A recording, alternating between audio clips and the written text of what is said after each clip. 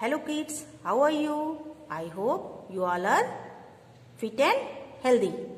Now this is your math class and today I am going to take number bond of 16. As usual, you know number bond. Number bond means add two numbers. Today we are taking number bond of 16. In how many ways we make number 16? So today I will use buttons. 10 plus 6. So children, there are 10 buttons and here is 6 button. 10 plus 6 is how much? Yes, 16. So we will write here 10 plus 6. I will show you one more time.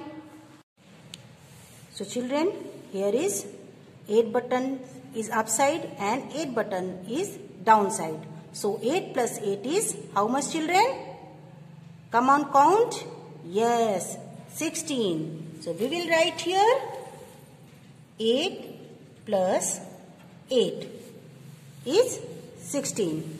So children, it's your turn. You will make more bond of 16 and send it to me. Okay children? Bye-bye.